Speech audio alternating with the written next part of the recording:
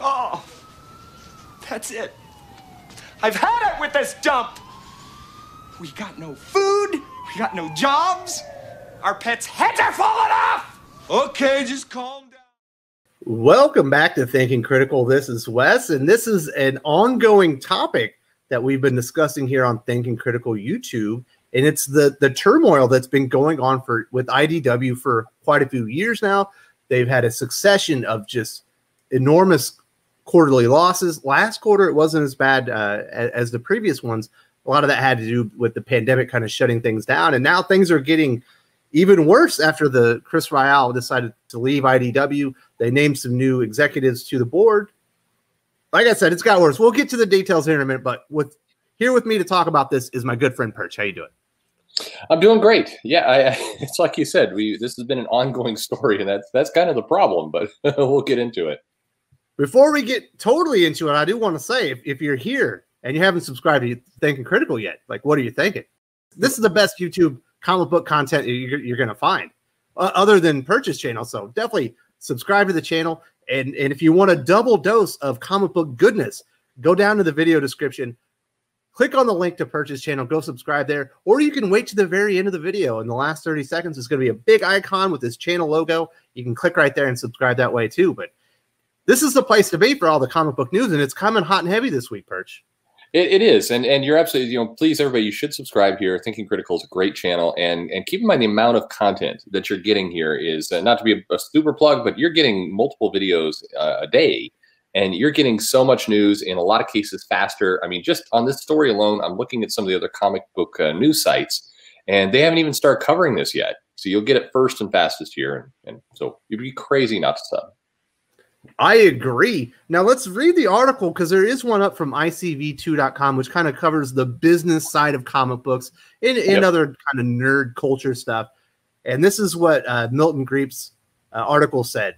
Jud Meyers, whose promotion to publisher at IDW Publishing was announced just last week, has been placed on administrative leave. The company made the announcement to employees at a company town hall last Friday. In his role as publisher, Meyer was in charge of editorial, sales, and creative services. Meyer's promotion was announced in conjunction with the announcement of Jerry Bennington's promotion to president and Rebekah Cahalin's promotion to general manager and executive vice president of operations for both IDW Publishing and IDW Entertainment. These moves were made as a result of the departure of Chris Ryall as president, publisher, and chief creative officer. So, Perch, yeah. Only five days on the job. Are they not vetting people over there at IDW? They promote him up to to this big position as publisher, which is extremely important for a, for a comic book uh, publisher like IDW. You know, he's he's basically the straw that that stirs the drink over there. Five yeah. days later, they have to put him on administrative leave. Obviously, they haven't said what it is yet, but I think I know what it is. I mean, he in a job like that, they've got their hands in everything. They're touching all parts of the business. They're getting kind of deep and inserted into uh, lots of the staff, and maybe you know that that sums up the problem. I don't know, but it is it is a case where you've got uh, somebody who has been with the company for a while. So I mean, this is bad on multiple fronts. I mean, it was it was stupid to promote the person to this level. It was uh, it, it's alarming that you you you put him in, and five days later, there's such an event that's causing a, a, you know the person basically to be put on administrative leave to to be you know, pushed out, um, who's been with the company. So these these aren't you know aren't going to be new problems. Whatever does finally surface, uh, it it just reinforces and underlines that IDW is is uh, just spiraling at this point. Yeah, it's just an enormous trash fire. You know, uh, going on administrative leave. That means you know he's somewhat he's like pending investigation. They're they're trying to wrap some things up they can't fire him legally, but they don't want him associated with the company right now. Those are big yeah. boy. Those are big boy problems. It is. It's, this isn't like uh, love bombing or something. Uh, somebody who's too friendly to somebody else. This is this is always further along. Now, certainly is a case. Sometimes people go on administrative leave, and investigation happens, and turns out, you know, hey, they're they're innocent or no problems. That does happen. Very very rarely it happens, but it does happen. And and you know, you hope that that's going to be the outcome here. That you know, for all the stuff that went on, that this is a, a big misunderstanding. But regardless of that, you, you don't put somebody in a position and then five days later immediately have to jerk that position out from under them. That just spells chaos. for a company that already looks from from outside investors, uh, customers, potential creative talents wanting to work with them, already looks like they're not the most stable company in the world financially. Obviously, Chris Ryall uh, just left. Before that, they they fired several prominent senior personnel within the comic book division that had been there for years, like since the beginning of IDW, had to get rid of them due to the furloughs uh, and everything that went on with COVID. So it already didn't feel like it was on the, the strongest ground. And then you have to look at look at this, and you're like, what kind of decision makers do they have at the upper echelon at IDW that they would put somebody that obviously had some baggage? You would hope that they would have known about this, but they they put him in that that position anyway. It feels like it's the blind leading the blind over IDW, and I don't want IDW to go away. I think they have great comic books. Uh, yeah. But it, it does it almost feels inevitable at this point. Yeah, no, it, it it's hard to see any way out of this. I, I think, and it, it is if you are uh, the key is that company right now needs investment.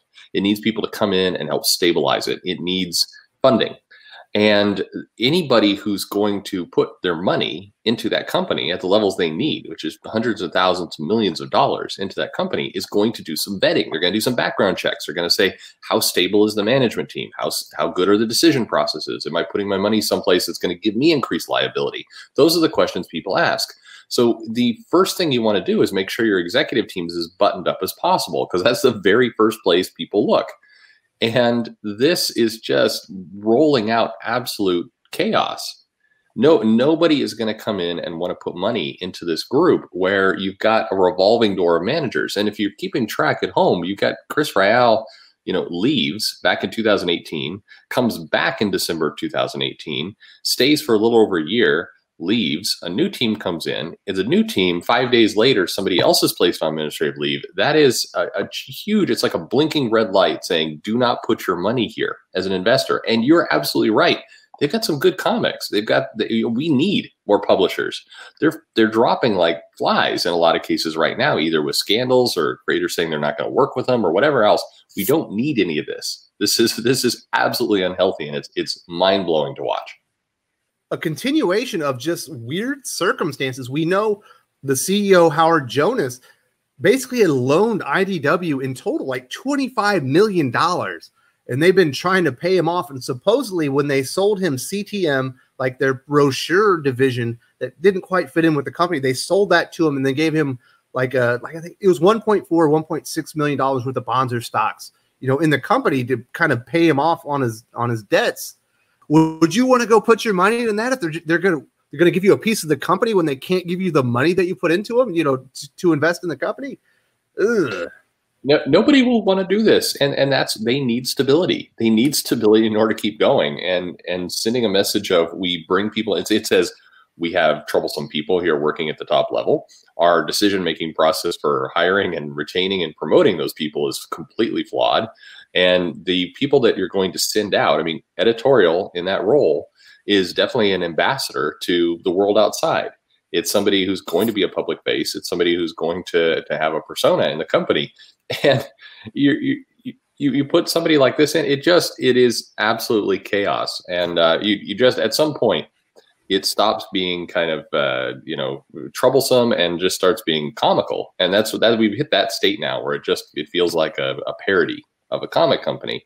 And it's again, it's it's sad. They they publish some great books, uh, and and they're they've got a good license fit. Uh, it's it's it's good stuff. They had some announcements actually out of Comic Con around what they're going to do with GI Joe and Transformers and Sonic Anniversary, and they're trying to tee some stuff up.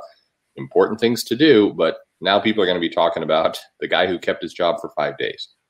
It's crazy. It's like, is Michael Scott running IDW yeah. fucking comics right now? Like, it's that's what it feels like. You can't make this shit up, Perch. No, I couldn't make this story up if I wanted to.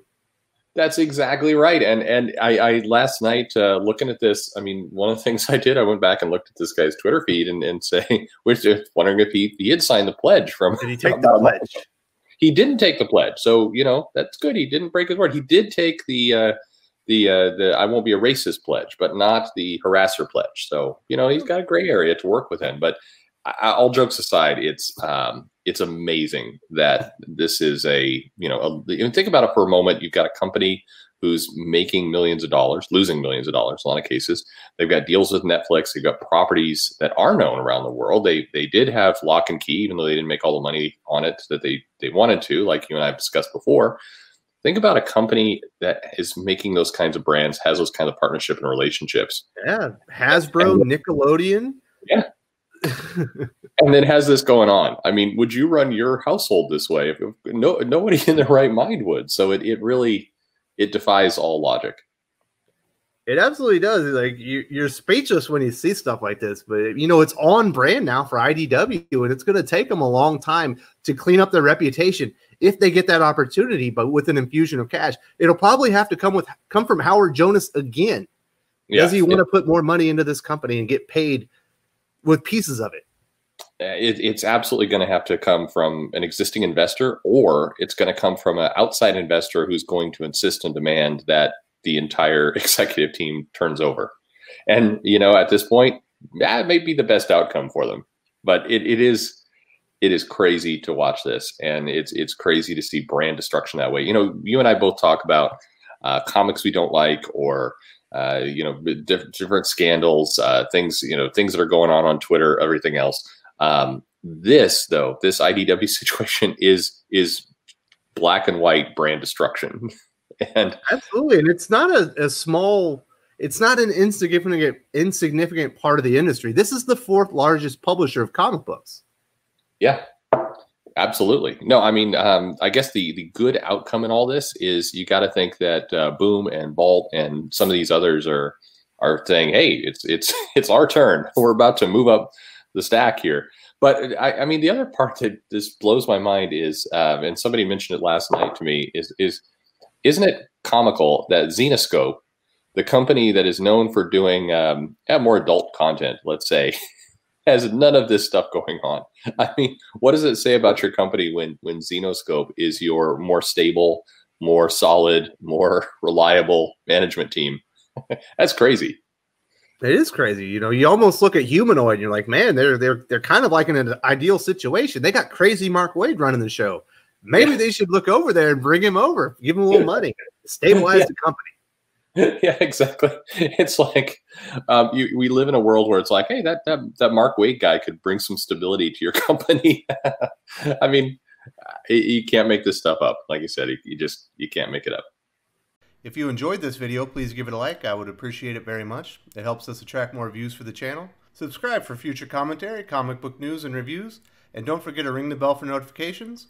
If you want to talk comics, movies, and much, much more, you can follow me on Twitter at Wes underscore from underscore TC. With that, Salamat Po, and I'm out.